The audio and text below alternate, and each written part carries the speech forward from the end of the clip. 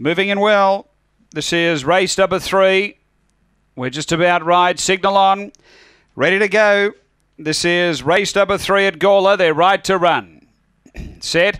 Away. Uh, pace from Silent Job down near the inside is headed off though by My Girl Baloney. Uh, Bally Rebel rushes up and now Head Rocks getting busy chiming into it. Behind those Woodside Flasher Lucky Stars and just Splinter back at the tail end. It's My Girl Baloney being tackled by Head Rocks. They go together. Uh, three away. Bally Rebel on the turn. My Girl Baloney and Head Rocks. My Girl Baloney. Head Rocks.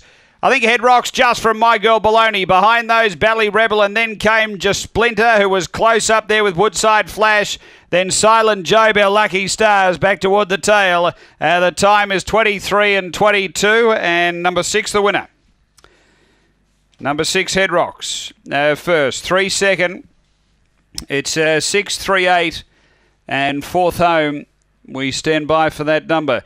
Number six, Head Rocks, the winner. Vadim Roz, Tony Wiseman, a Black Dog, March 2013, headbound, Ibrox Laura. Number six first, uh, Head Rock. Second, going to three, My Girl Baloney, John Hancock. A Black Bitch, September 2013, Premier Baloney, Private Universe.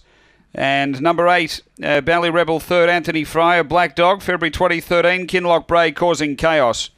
Numbers are six, three, eight. Now, fourth home is number two. Woodside Flash, number two, fourth.